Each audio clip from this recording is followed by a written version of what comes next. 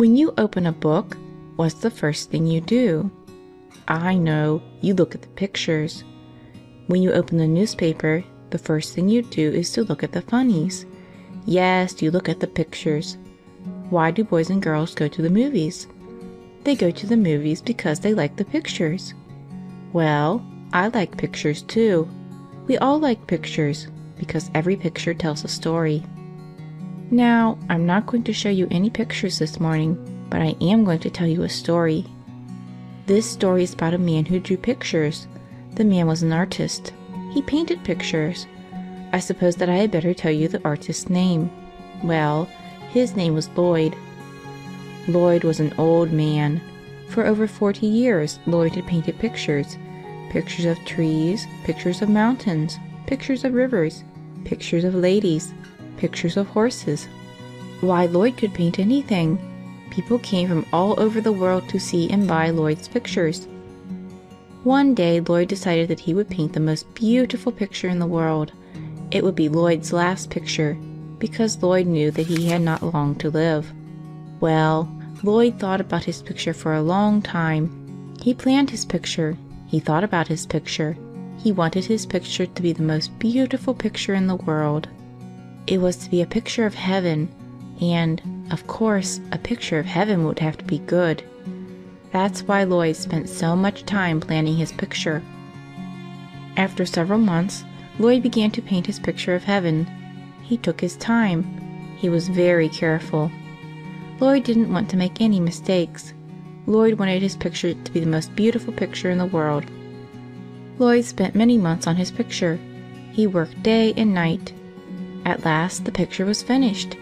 It was beautiful, a beautiful picture of heaven. In the center of the picture stood Jesus. Mary and Joseph stood at his side. There were angels in the picture popes, bishops, priests, nuns, doctors, lawyers, nurses, teachers, mothers, fathers, Indians, Negroes, cowboys. Every person in the picture had a smile. Everyone seemed to be happy. The old painter was happy too. His picture was finished. He had painted the most beautiful picture in the world. Lloyd was tired but happy. He went to bed and fell asleep. In the middle of the night, the old painter awoke. His room was a blaze of light. There was a stranger in the room, a stranger with a brush in his hand. The stranger was painting on Lloyd's picture. The old painter jumped out of his bed. Stop! Stop! He cried. You are spoiling my picture. No, no, said the stranger softly.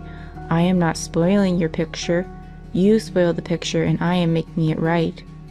Don't you know, Lloyd, that there should be children in your picture? Why, heaven is filled with children, and children belong in your picture. The stranger smiled, and the painter smiled too. But just then Lloyd felt that he knew the stranger. Yes, he did know the stranger. Why, the stranger was Jesus. Yes, Lloyd was looking into the face of Jesus. Before Lloyd could say another word, Jesus disappeared. Lloyd was alone, alone with his picture. The old painter looked at his picture. There were children in the picture. Jesus had painted children in the picture. The picture had not been spoiled. In fact, the picture was more beautiful than ever. Of course, Lloyd was very happy. Jesus had helped with his beautiful picture. Jesus had helped Lloyd to paint the most beautiful picture in the world. Heaven is filled with children. Jesus said those words over 1900 years ago, and that's just what Jesus said to the old painter. Heaven is for children. Heaven belongs to you. You belong in heaven close to Jesus and Mary and Joseph. You know, boys and girls, sometimes people think that children are not important. Well, that's wrong. Jesus doesn't think that way. Oh, no, Jesus thinks that boys and girls are mighty important. Jesus wants every single boy and girl in this world to go to heaven. Jesus wants you to go to heaven. Jesus wants you to save your soul. Remember, there's only one thing that can keep you out of heaven that's mortal sin. That's why I am always telling you to keep away from sin. Keep away from mortal sin.